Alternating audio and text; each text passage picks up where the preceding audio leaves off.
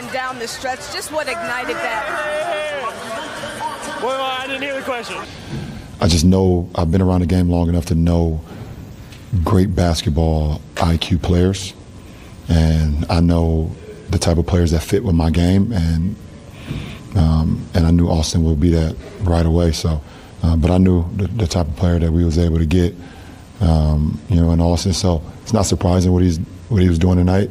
Um, maybe to some of you guys who don't watch him as much or don't cover him as much, but for me, it's not.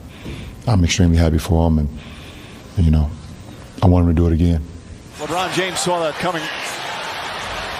Here's Reaves goes right at Brooks, stops and scores. Kennard deflected and stolen by Reaves. Two on one break. Reaves throws it up for Davis.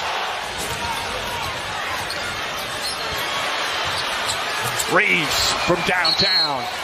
He's just underrated, undervalued. Everybody talks about as Reaves hits another tough one there, I believe. There's no way they're going to let him go. Russell, a three. That's good. Angelo Russell before he makes an all-star team. He was hurt earlier this year, Bane not that time. Aldama. Hachimura kicks it out to an open Reaves for three. Puts it in as the shot clock expires six times this season. Bane shot blocked by Reaves and picked up by LeBron James. Hachimura's the shooter. Reaves fakes. Reaves behind the back. Hachimura three-pointer. Puts it in.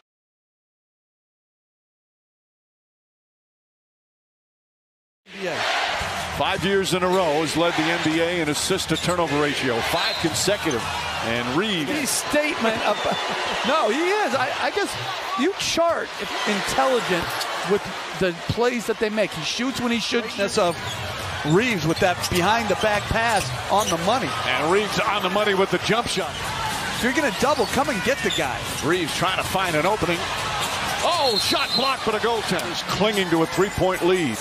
Grizzlies trying to win without Morant. Reaves a three. Bang!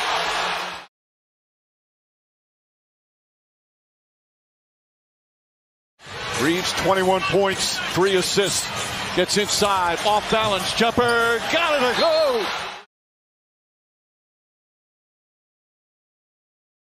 In game one, blocked by Davis. That's his seventh block of the game, and he caps it off down the other end.